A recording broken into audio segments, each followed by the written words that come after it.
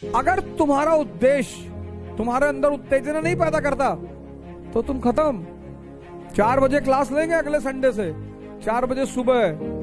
अभी ठंडा शुरू हो जाए, तब लेंगे। उठो। कब तक सोओगे यार? चारों तरफ़ सब कुछ जल रहा है। सत्ता का नशा करो, सत्ता का। शराब, सिगरेट, गुटखा, सब छोड़ दो। इसलिए नहीं कि ये नुकसान पहुंचाते हैं। इसलिए क्योंकि ये घटिया नशे हैं। नशा करो ना क्वालिटी वाला। ताकत का नशा, सत्ता का नशा। कि पढ़े नहीं, बेचैन हो गए। आंसर राइटिंग नहीं की बेचैन हो गए।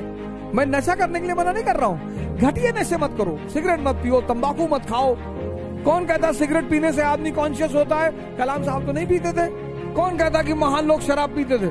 बुद्ध, महावीर, जब तुम्हारे मन को तुम्हें बेवकूफ़ बनाना होता है तो ऐसे ही विचार फेंकता है तुम्हारे मन में कि अरे, नेहरू जी सिगरेट पी, देखे हो, खड़े हो गए नेहरू जी सिगरेट चलो नेहरू जी को कॉपी कर रहे हो कि नेहरू जी सिगरेट पीते थे? नेहरू जी ने जेल में किताब लिखी थी। तुम एक लिख के दिखाओ।